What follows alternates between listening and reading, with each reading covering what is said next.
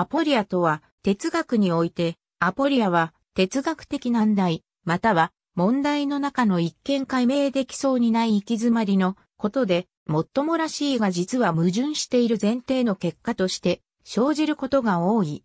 さらにアポリアは、そうした難題、行き詰まりに困惑させられた、つまり途方に暮れた状態のことも言う。アポリアの概念は、ギリシア哲学の中に見られるだけでなく、ジャック・デリダの哲学の中でも重要な役割を果たしている。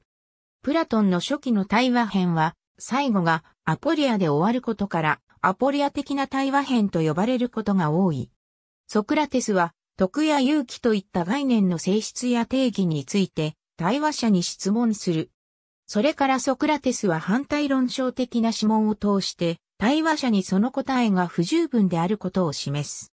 多くの試みが失敗した後で、対話者は検討してきた概念について、アポリアの状態に陥り、そのことについて何も知らないことを認める。プラトンのメノンで、ソクラテスは人をアポリアに陥らせることから解消する有効な方法を叙述する。それを何かを知っていると思っている人に、本当は知らないのだということを分からせ、その人にそれを研究したいという欲望を注ぎ込むことである。アリストテレスの刑事上学では、アポリアは探求の方法の役を演じる。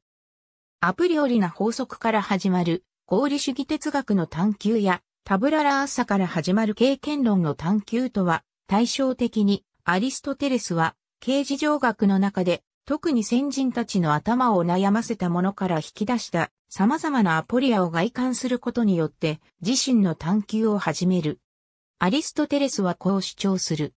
我々が探求している科学を目的として、まず最初に論じなければならない問題を最初に述べることが必要である。刑事上学ベータ末期はアポリアのリストである。疑惑法は話し手が自分の位置についての疑問を表す、あるいは聞き手に修辞学的にどのように進むべきかを尋ねる修辞技法でもある。ズビタチオとも呼ばれる。例えば次のようなものである。私が当惑しているのは、君と君の家族を説得するものが欲しいからではなく、どこからか始めるかなんだよ。